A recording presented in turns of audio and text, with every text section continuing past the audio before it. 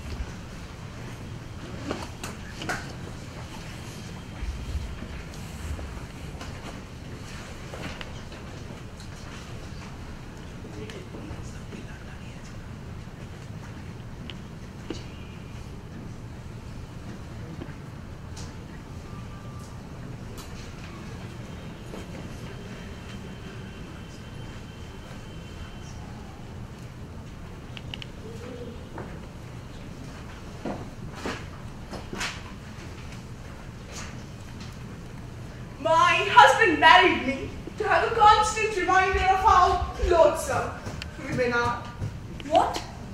Yeah, That's just awful. no, it isn't. It isn't awful. No. I don't think anyone would marry for that reason. Well, he did. Did he say so? He tells me constantly. Oh dear. Well, I don't mind. I laugh when he tells me. You laugh? I do. How can you? It's funny. And it's true. That's why I laugh. What is true? That women are loathsome. Fool. That shocks you. It does. I don't feel loathsome. I don't mean that you are loathsome. You don't mean that I am loathsome. Yes, it's something to think about. It's a thought. It's a hideous thought. I take it all back. Isn't she incredible? Cindy, I don't mean anyone in particular. I mean, No one in particular, just women. yes, In that case, I'm relieved. I thought you were referring to us. you're being stupid. Stupid and loathsome. Have you ever heard anything so outrageous? I am speechless. Why are you speechless? I think you're outrageous. Don't be offended. I don't take enough care to be tactful. I know, I know. But don't be offended. She's not offended. She pretends to be, but she really isn't. She understands what I mean. I do not. Yes, you do. I like exciting ideas. They give me energy. And how is women being loathsome an exciting idea? It revolts me. You find revulsion exciting. Well, don't you? No, hmm. What do you do with revulsion? I avoid anything that's revolting to me. Hmm. Have you ever done the stone over in damp soil? Yes. And when you Well, that is my opinion. So who's ready for dinner? I'll have some fried worms with lots of pepper. And you. I have mine in a sandwich with mayonnaise. And to drink? Just some dirty dishwater in a tall glass with ice. That sounds fine. All right, I'll take them off. You haven't met Philip, have you? No, that's him there.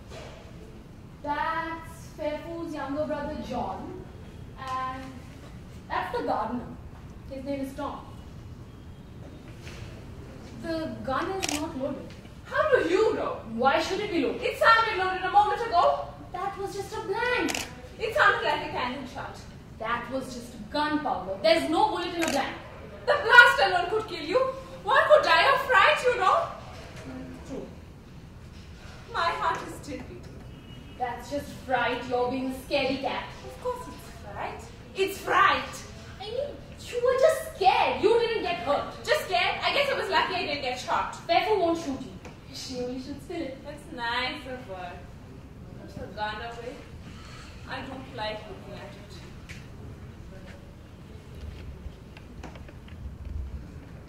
I just fixed the toilet in your bathroom. You did. I did. The water stopper didn't work. It drained, so I adjusted it. I'm waiting for the tank to fill up. Make sure it all works. You do your own plumbing. I just had to bend the metal that supposed the rubber stopper. What happened was it fell to the side, so the water wouldn't stop draining into the bowl. he scared me this time, you know. He looked like he was really hurt. I thought the gun was not loaded. I'm never sure. What? What do you mean? He said one day he'll put real bullets in the guns. He likes to make me nervous. I have upset you. I don't mean to upset you. That's just the way we are with each other. We always go to extremes, but it's not something to be upset about. You scare me. That's alright. I scare myself too sometimes. but it's good to be scared. It makes you stronger. It does me. He won't put real bullets in the guns. It suits a relationship, you know. The game, I mean. If I didn't shoot him with blanks, I might have to shoot him for real. Do you see the sense of it? I think you're crazy. I'm not, I'm saying. You're very stupid. I'm not. I'm very bright. You depress me. Don't be depressed. Laugh at me if you don't agree with me. Say I'm ridiculous. I know I'm ridiculous. Come on, laugh. I hate to think I'm depressing to you. All right, I'll laugh. I'll make you a drink. No, it's all right. I'm just sucking on ice. Why you don't feel well? I'm all right. Would you like some more? Just a drop. All right. Like that? Yes. Hmm. Well, there you go. No, that's the cutest thing I've ever seen. it's called You Need a Stick in That. Like a popsicle stick. You hold the stick and your fingers won't get cold. I have a few sticks, I'll do some for you. Don't trouble yourself. It won't be any trouble. You later.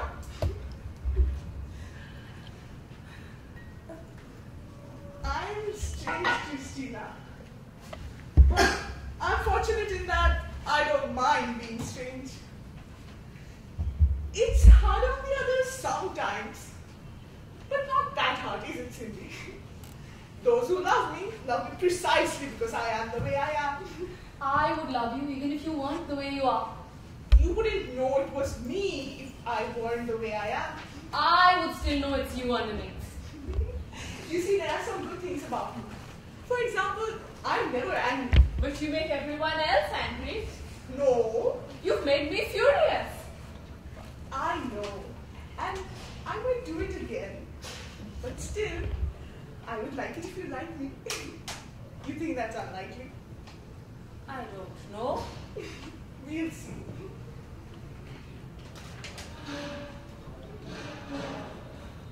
I still like men better than women. I like thinking like a man, feeling like a man, being like a man. We are well together. Women are not. Look at them taking the new grass mower the fresh air and the sun while we sit here in the dark. Men have natural strength. Women have to find their strength. And when they do find it, it comes forth with bitterness and it's erratic. Women are restless with each other. They're like live wires, either chattering to keep themselves from making contact, or else, if they don't chatter, they avert their eyes, like Orpheus, as if a god once said. And if they shall recognize each other, the world will be blown apart. they are always eager for the men to arrive. When they do, they can put themselves at rest, tranquilized and in a mild stupor. With the men, they feel safe. the danger is gone. That's the, that's the closest they can be to feeling wholesome. Men are the muscle that cover the raw nerve. They're like insulators. The danger is gone, but the price is the mind and the spirit. High price. I never understood it. To give up the passion of friendship. Why? What is fear? Hmm. Well, what do you know? Perhaps the heavens will fall. Have I offended you again? No. I too have wished for the trust that men have for each other. The trust the world puts in them, and they in turn put in the world. I know I don't have it. But I need to go and see how my toilet is doing. Plumbing is more important than you think.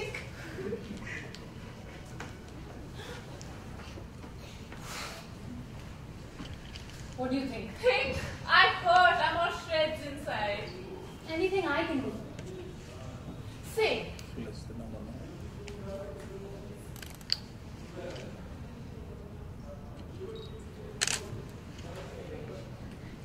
In the meadow we can build a snowman and pretend that he is Parson Brown. He'll say, But you can do the job when you're in town. In the meadow we can build a snowman and pretend that he's a circus clown.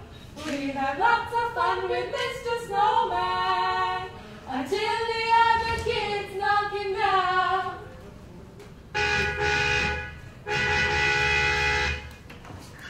It's Julia! Are you alright? Julia, let me help you. Oh, I can manage. I'm much stronger now. There you go. You have my bag? Yes.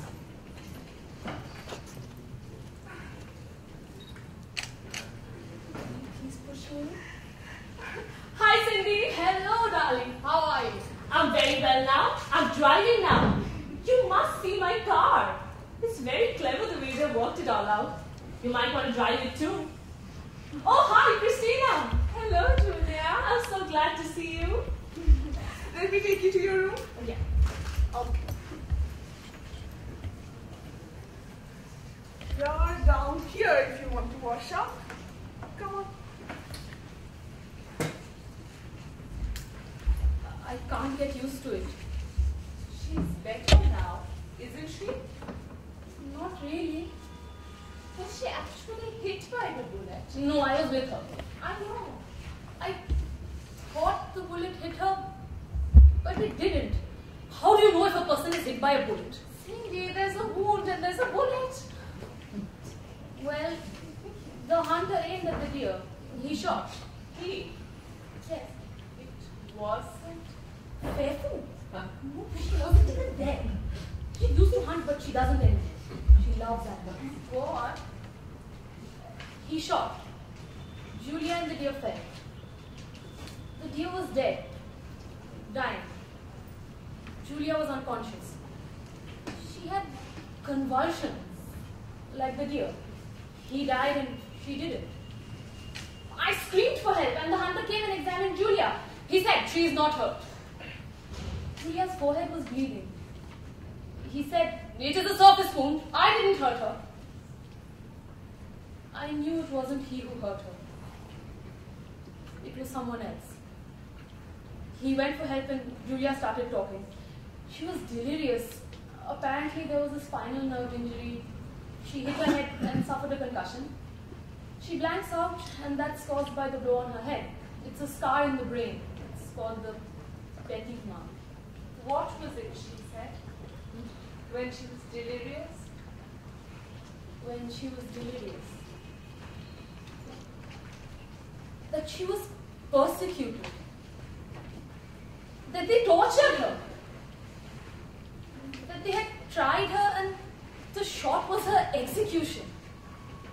that she recanted because she wanted to live. And that if she spoke about it to anyone, she would be tortured further and killed. I have not mentioned this before because I fear for her. It doesn't make any sense, silly. It makes sense to me. You heard. Who hurt her? I don't know. Did you know her? I met her once, years ago. You remember her as she was then? She was afraid of nothing. And she knew so much. She was so young. And yet, she knew so much. How did she learn all that? Did you ever wonder? Well, I still haven't checked my toilet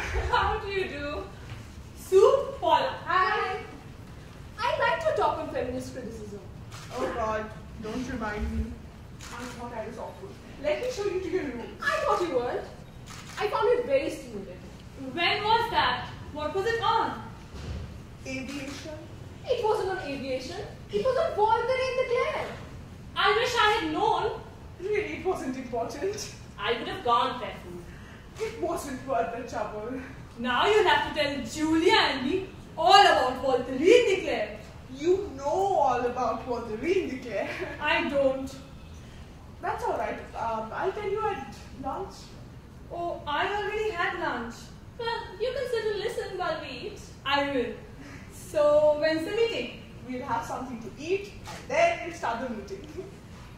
So, who's ready for lunch? I am not I ready am for ready. All right, we'll take a vote on that later. What exactly are we going to do? about lunch. That too, but I meant the agenda. Oh, Well, I think we should first discuss what each one of us is going to talk about so that we don't duplicate what someone else is saying. And then we have a review of it as a rehearsal so that we know in what order we should speak and how long it's going to take. We should do a rehearsal in costume. What color should each wear? It matters, you know. Do you know what you're wearing? I haven't thought about it. What color should I wear? Red. Red. Cherry red or white? And I? Dark green. The treasurer should wear green. It's in Satu.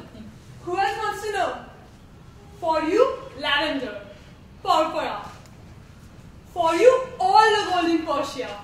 there is no golden Persia. In Peru, All right. I brought my costume. I'll put it on later. You are not in costume. No, this is just a dress. My costume is dramatic. I won't tell you anymore. You'll see. I had no idea we were going to do theatre. Life is theatre. Theatre is life. If we are going to show what life is, can be, we must do theatre. Will I have to act? It's not acting. It's breathing. It's bringing forth with the powers of the spirit.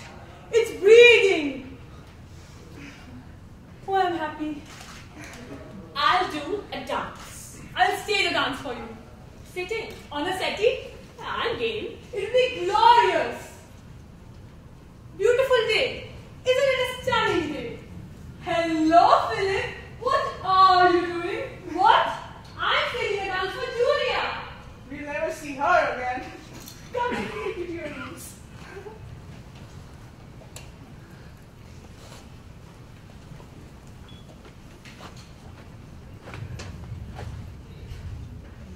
It's a blank. She's hurting herself.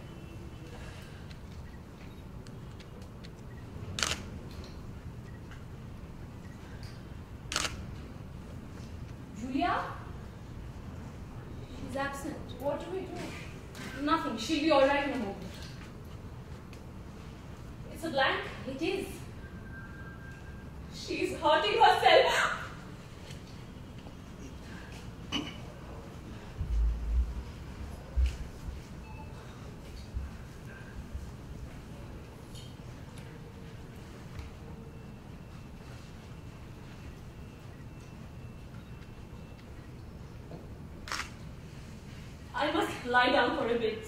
Can you help me? Call me if you need anything. I will.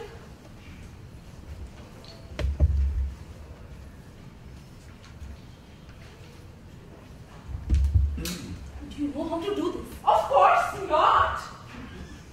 I am Cecilia Johnson. Do I have the right place? Yes.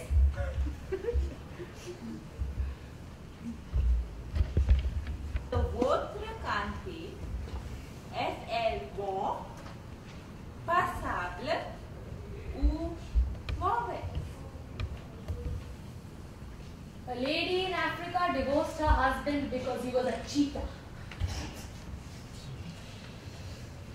Est-ce que votre profession honorant suivant les idées?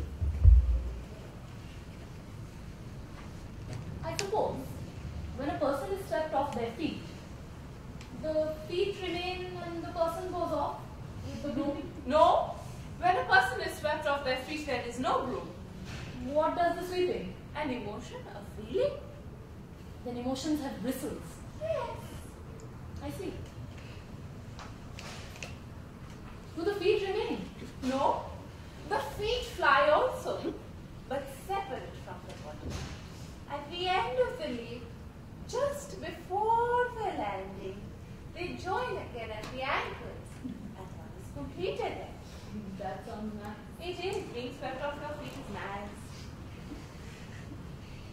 Anything else? Not for now.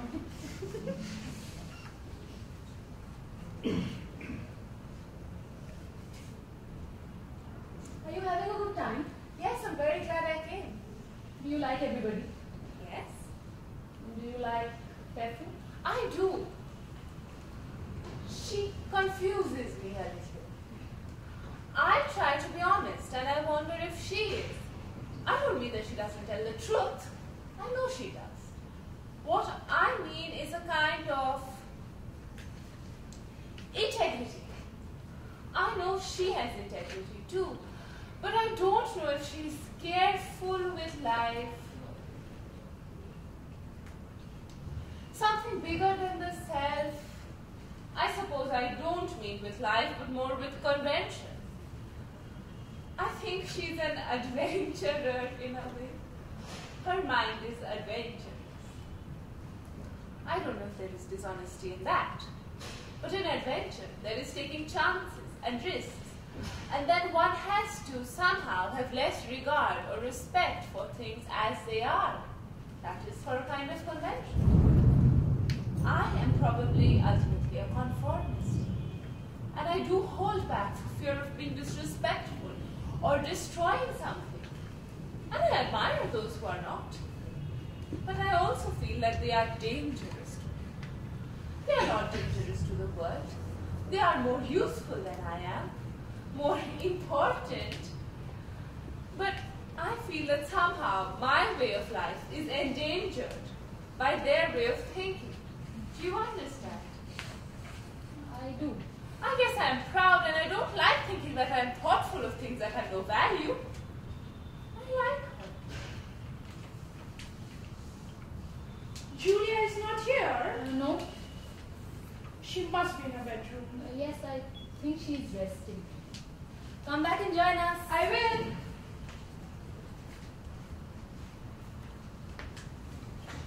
I had a terrible dream last night. What was it? I was at a dance, and there was a young doctor had seen in connection with my health. We all danced in a circle and he identified himself and said that he had spoken to About me, but that it was alright. That he had put it so that it was alright. I was puzzled as to why Mike would mind and why he had spoken to me.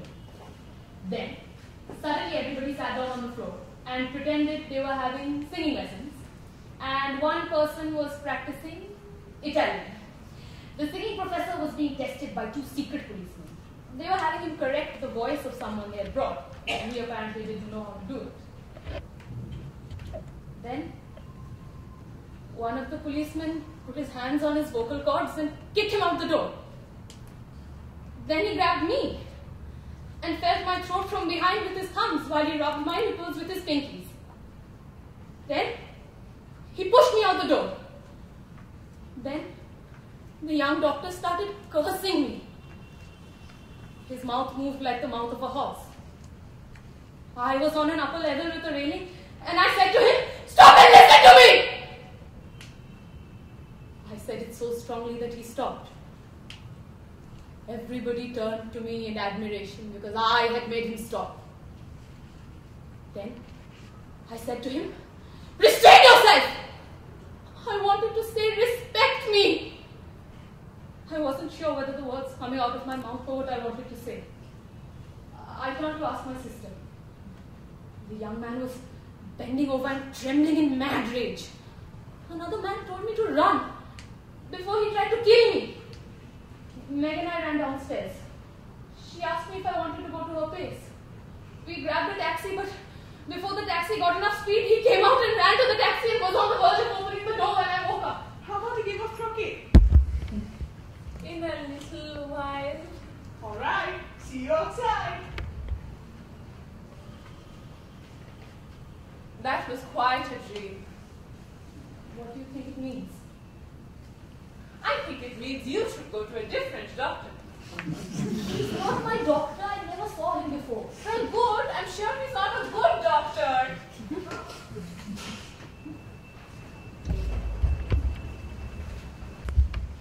he tore my eyes out. He took my voice away. They, they didn't do anything to my heart because I did not bring my heart with me. They clubbed me again. But my head, it did not fall off to pieces. That was because they were so good and they felt sorry for me.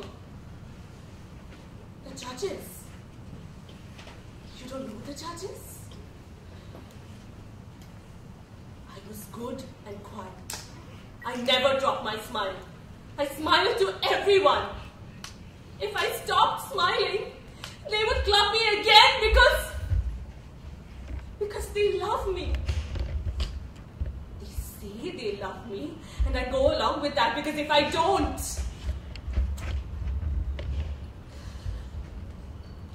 I told them the stinking parts of the body are the all important ones the genitals, the mouth, the anus, the armpits, all important parts, except the armpits. And who knows? Maybe the armpits are important too. That's what I said. He said that all those parts must be kept clean and put away. He said that women's entrails are heavier than anything on earth, and to see a woman running about creates a disparate and incongruous image in the mind. It's anti aesthetic. Therefore, a woman should not run. Instead, she should take into account the weight of her entrails and strike positions accordingly. Only then can she be aesthetic. He said, for example, Goya's Maya. He said, Rubens women are not aesthetic. Flesh. Said that a woman's bottom must be kept in a cushion, otherwise it's revolting. He said there are exceptions. Ballet dancers are exceptions. They can run and lift their legs because they have no entrails. Isadora Duncan had entrails. And that is why she should not have danced. But she danced! And for this reason became crazy. She was not crazy. She was.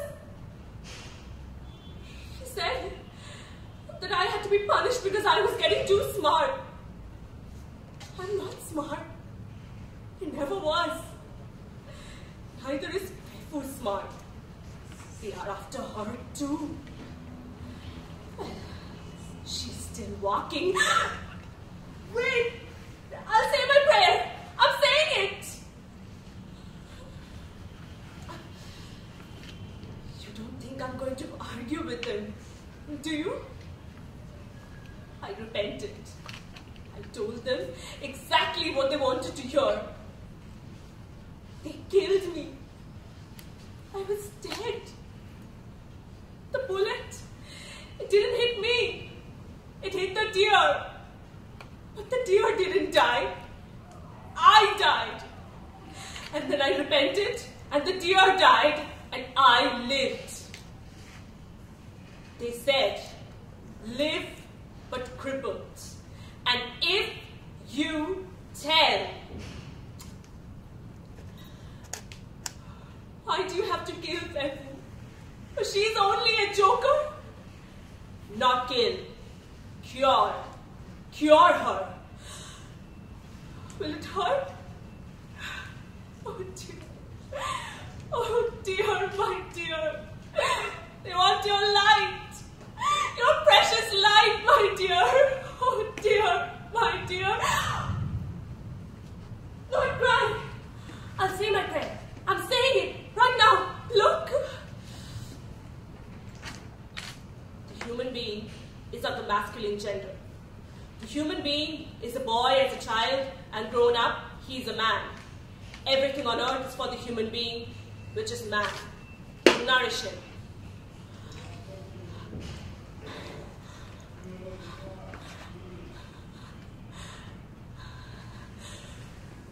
There are evil things on earth and noxious things. Evil and noxious things are on earth for man too, for him to fight with, conquer, and turn its evil into good, so that it too can nourish him.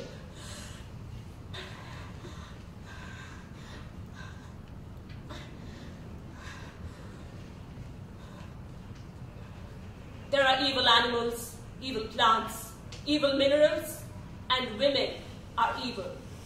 Woman is not a human being. She is one, a mystery, two, as of yet undefined, three, another species, four, unpredictable, and therefore wicked and gentle, and evil and good, which is evil.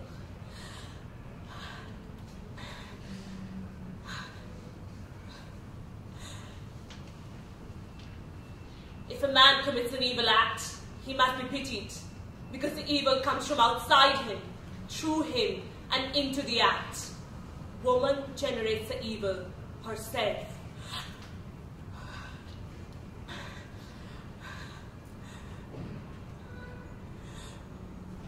God gave man no other mate but woman.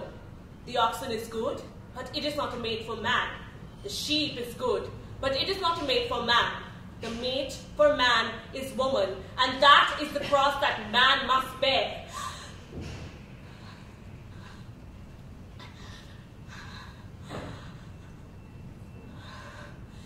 Man's spirit is not sexual.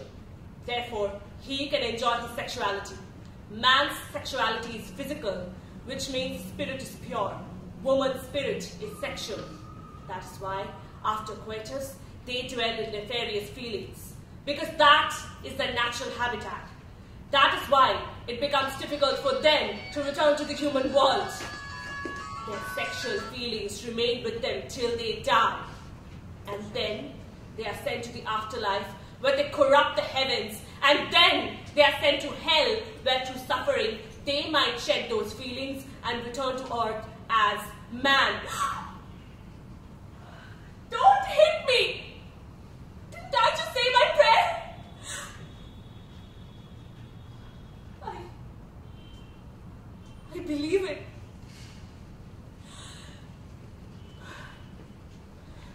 They say that when I believe the prayer, I'll forget the judges.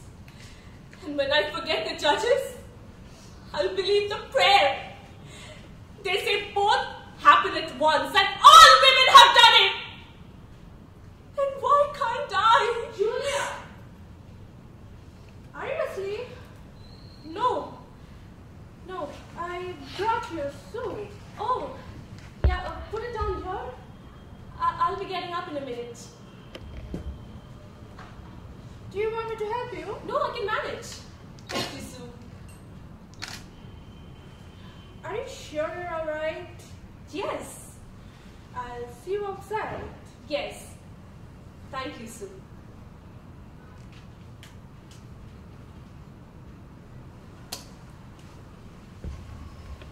Well,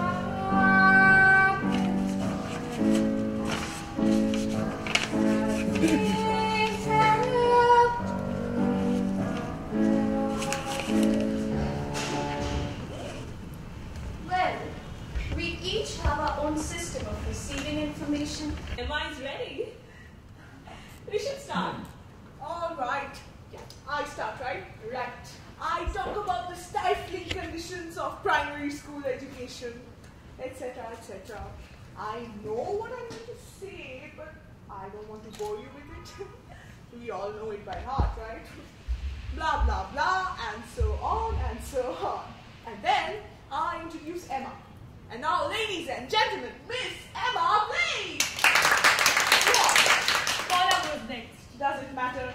Of course it matters. Dramaturgia. It has to build. I'm costume. All right. And now, ladies and gentlemen, Miss Paula Corey will tell us about art as a tool for learning. And then I tell them the work you've done at the institute, community centers, etc., etc. I, Miss Paula Corey. Ladies and gentlemen, I, like my fellow educator and colleague, Stephanie Bickman, I am not an educator, what are you? a Girl Scout, a do-gooder. Well, I, like my fellow Girl Scout, Stephanie Bickman, say blah blah blah blah blah blah, and I offer the jewels of my wisdom and experience, which I will write down and memorize. Otherwise, I just stand there and stammer and go blank. And even after I memorize it, I'm sure I just stand there and stammer and go blank. I'll work with you on it. However, after our other colleague, Miss Emma Blake, works with me on it, my impulses will burst forth through symphony of eloquence. Breathe in and bow.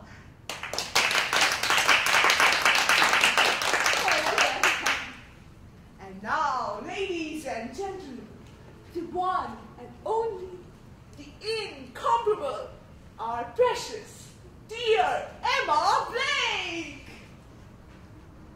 From the prologue to the science of educational dramatics by Emma Sheridan Fry. Environment knocks at the gateway of the senses. a rain of summons beats upon us, day and night. We do not answer.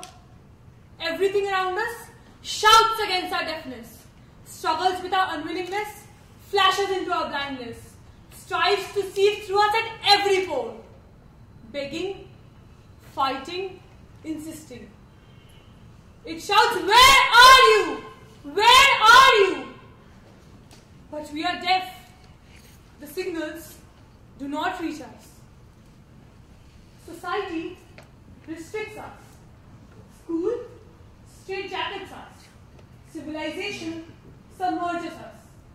Privation brings us. Luxury feather beds us. The divine urge is checked. The winged horse balks on the road. And we, discouraged, defeated, dismount and burrow into ourselves. The gates are closed and divine urge is imprisoned at the center. Thus, we are taken by indifference, that is death. Environment, finding the gates closed, tries to break in. Turned away, it comes another way. Kept back, it reaches its hands to us, always keening to reach us. Never was suitor more insistent than environment, seeking admission, claiming recognition, signaling to be seen, shouting to be heard. And through the ages, we sit inside ourselves, deaf, dumb, and blind, and will not stir. Maybe you're not deaf. Perhaps the signals reach you. Maybe you stir. The gates give. Eternal urge pushes to the stupor of the senses, making paths to meet the challenging suitor, windows through which to see him, ears through which to hear him. Environment shouting, Where are you? And center battering at the inner sides of the walls, crying, Here I am! Dragging down bars, wrenching gates, prying at potholes, listening at cracks, reaching everywhere, and demanding that sense gates be flung open. The gates are open! Eternal urge stands at the threshold, signaling with venturous flag. An imperious instinct lets us know that all is ours, and whatever anyone has ever known, or may have known, we will call and claim. A sense of life universal surges through our life individual. We attack the feast of this table with an insatiable appetite that calls for all. What are we? A part of God's consciousness, coming now slowly and painfully into recognition of ourselves. What is personality? A small part of us. The whole of us is behind that hungry rush at the gates of the senses. What is civilization? A circumscribed order in which the whole has not entered. What is environment? Our mate, our true mate that clamors for our union. We will meet him. We will learn all, know all, seize all here, that we may fare further on the great quest. The task of now is only a step towards the task of the whole. Let us then seek the laws governing real life forces, that coming into their own, they may create, develop, and reconstruct. Let us awaken life dormant. Let us boldly, seizing the star of our intent, lift it as the lantern of our necessity, and it shine over the darkness of our compliance. Come, the light shines. Come, it brightens our way. Come, don't let its glorious light pass you by. Come, the day has come.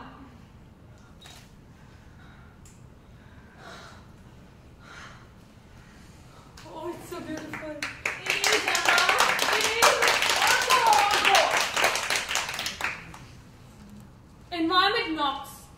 the gateway of the senses. A rain of summons. What's next? well, I introduce Cecilia. I don't think I should introduce Cecilia. She should just come in after Emma. Things don't need introduction now. They are happening. right. well, as we say in the business, that's a very hard act to follow. Not a very hard act. It's a hard act to follow. Well, I should say my name first. Yes. I should breathe too. Cecilia, you're breaking my heart.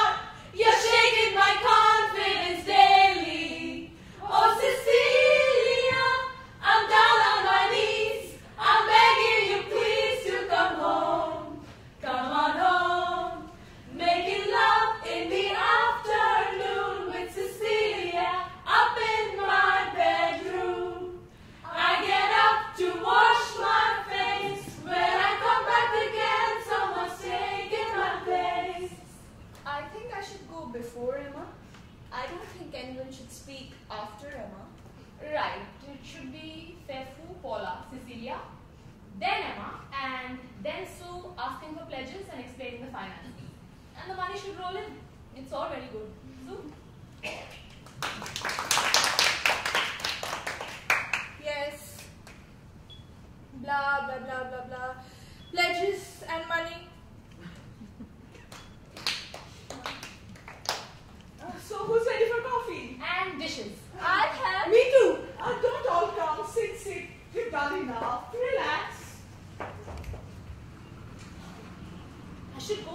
I haven't done anything. You can do them tomorrow.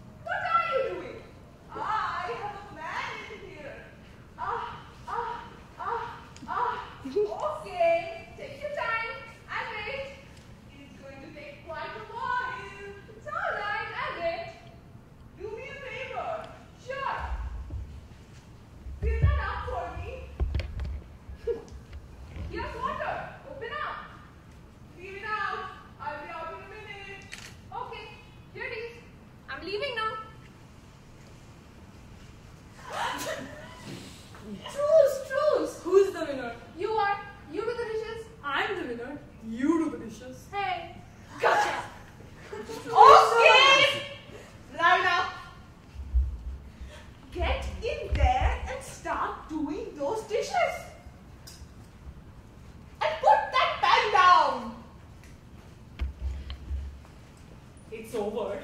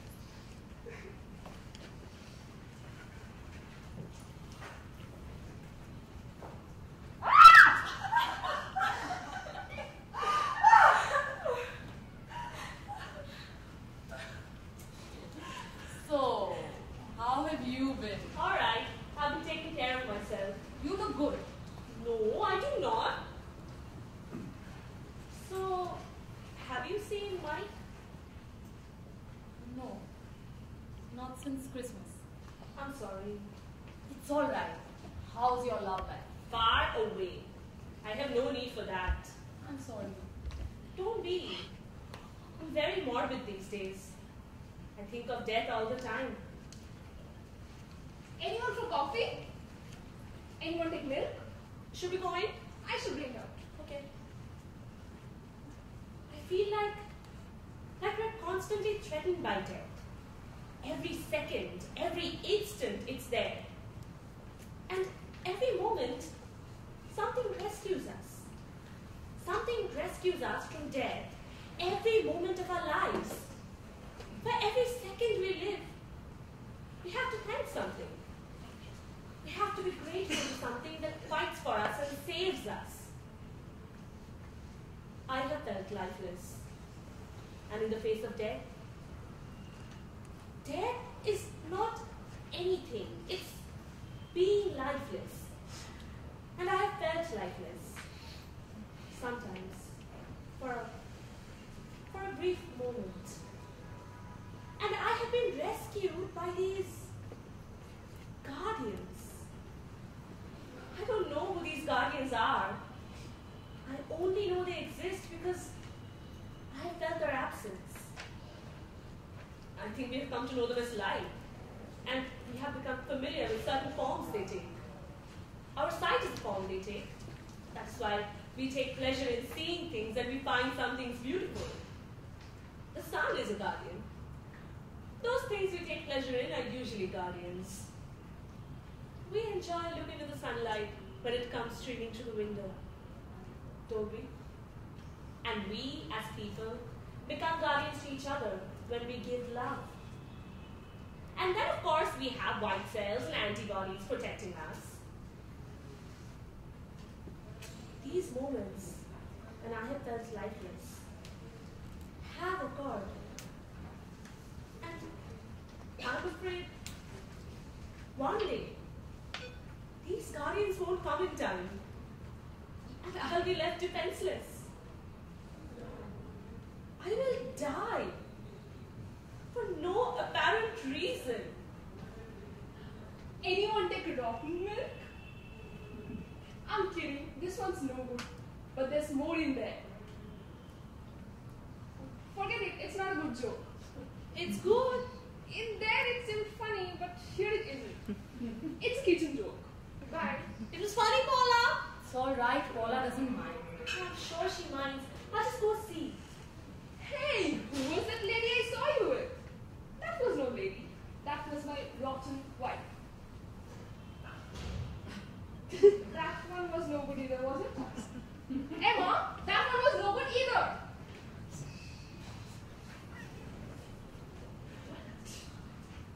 Oh.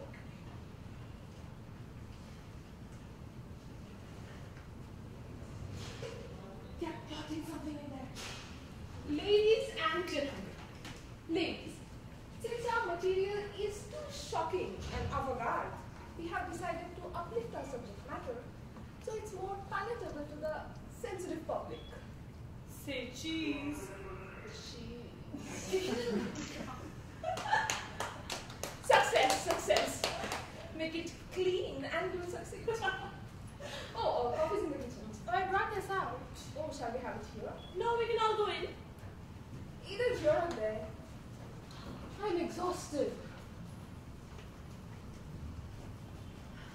Is the war over? Yes. Where is everybody? In Snacks the- out. In the kitchen having coffee. We must talk. Not now, I'll call you. When? I don't know, I have to. I don't need you, you know. I know. No, you don't. I'm not lusting after you. I know that. I'll call you When? as soon as I can. I won't be home then. When will you be home? I'll check my book and let you. Do that. I'll be leaving after coffee. I'll say goodbye now. Goodbye. You're still wet. I'm going to change now. Do you need anything? No, I have something I can change. Thank you.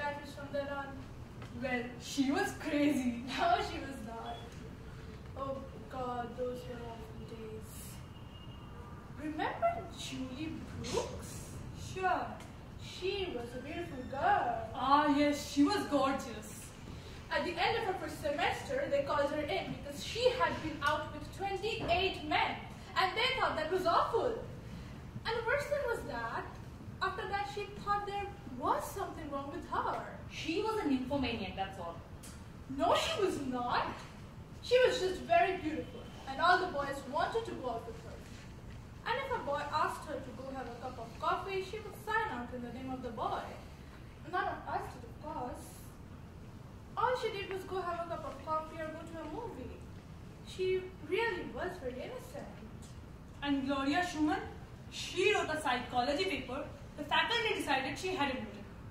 So they called her in to try to make her admit that she hadn't written. When she insisted that she wrote it, they sent her to a psychiatrist too. Everybody ended up going to the psychiatrist. After a few visits, the psychiatrist asked her, Don't you think you know me well enough now that you can tell me the truth about the people? They just couldn't believe she could be so smart. Those were difficult times. We were young. That's why it was difficult. On my first year, I thought you were all very happy. Oh god. I have been so deprived in my childhood that I believe the rich were all happy.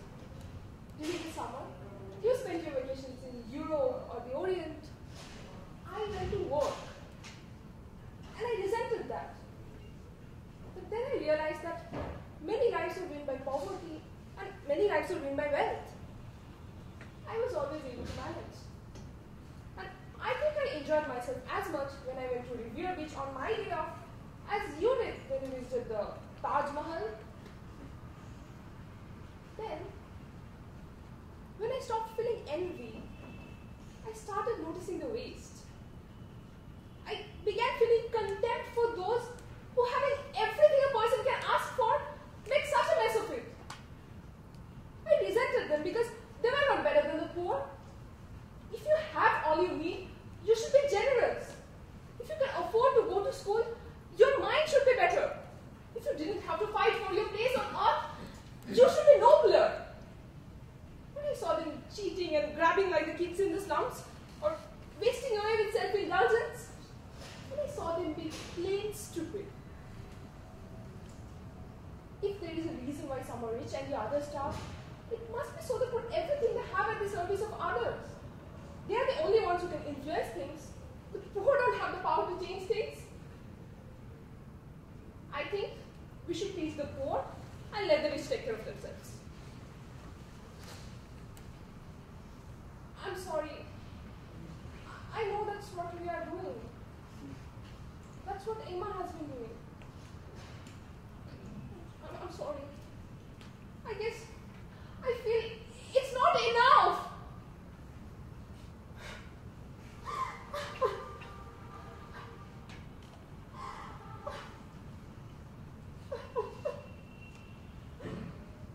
I'll wash my face.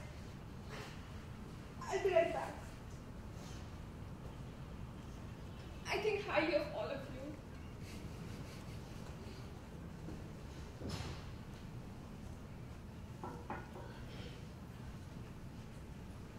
Have you been out? The sky is full of stars. What's the matter? Stay a moment, with you? Of course. Did, did you have coffee? Yes. Did you find the sugar? Yes. There was sugar in the kitchen. What's the matter? Can you can you walk? I'm sorry, my dear. What is the matter? I don't know. Every breath is painful for me. I, I don't know. I think you know. No. I don't know. I haven't seen of you lately. I have thought of you a great deal. I always think of you. Cindy tells me how you are. I always ask her, How is Philip? Things are not well with Philip? No, What's wrong? a lot is wrong. He loves you. He can't stand me. He loves you. He's left me. His body is here, but the rest is gone. I exhausted. I torment him, and I torment myself.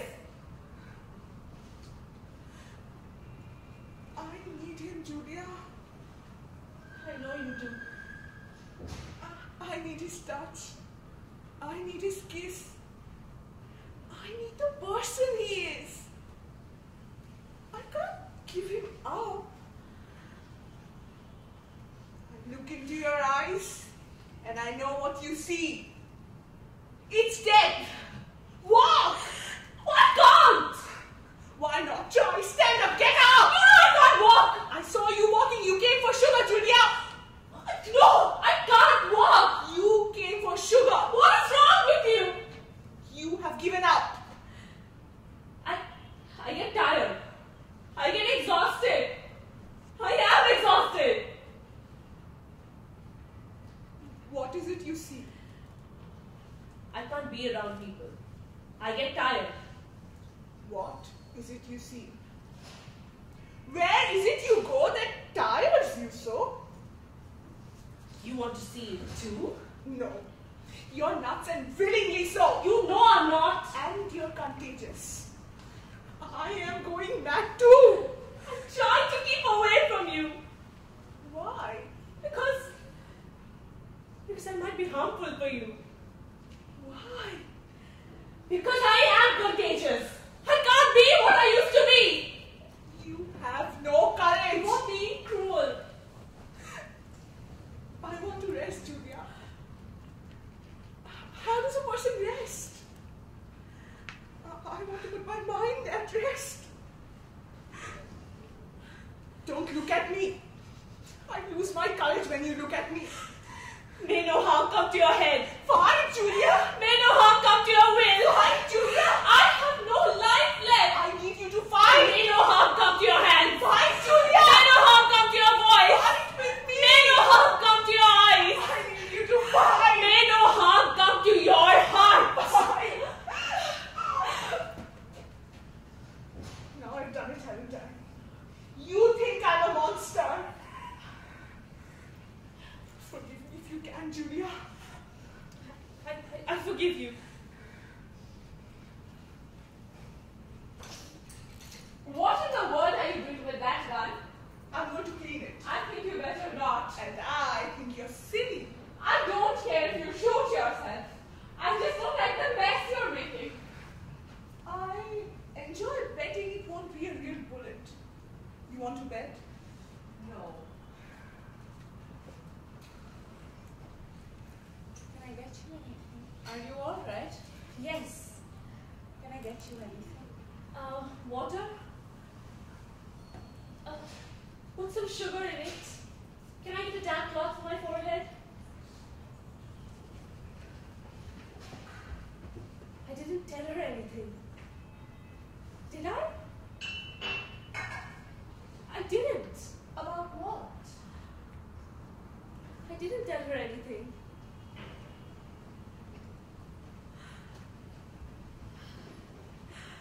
But how, how did she? She knew.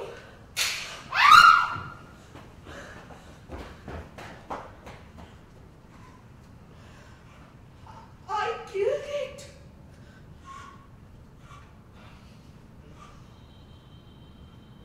I just shot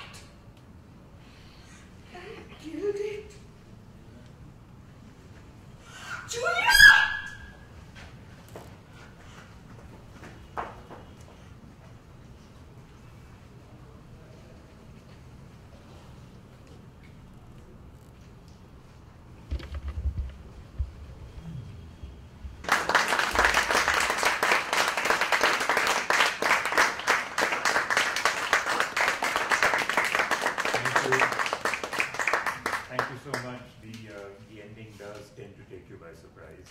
So were they.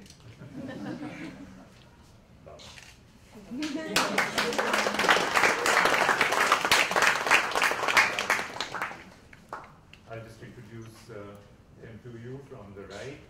Shuchetona.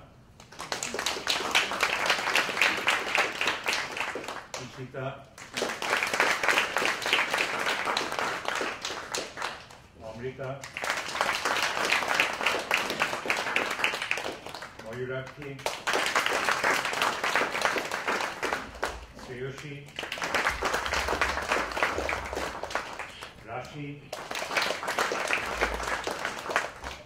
Paulumi. Varsha. And uh, as all of you know, behind every successful woman, there is one fourth a man.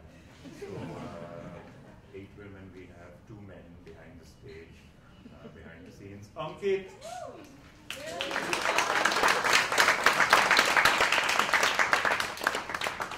Ankit was on lights and sound, and uh, I am the director. Uh, I, do wish to thank uh, American Center for making this possible. Once again, um, those of you who heard me this, saying this before, you know that uh, the Lincoln Room is my uh, most special places because you can do things over here that you cannot do in regular auditoriums.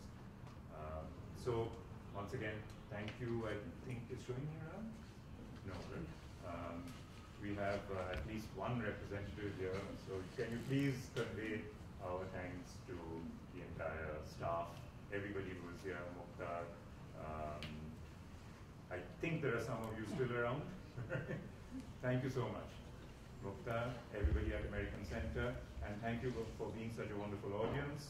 Uh, you're free to talk to us while we wrap up this evening's show. Thank you so much.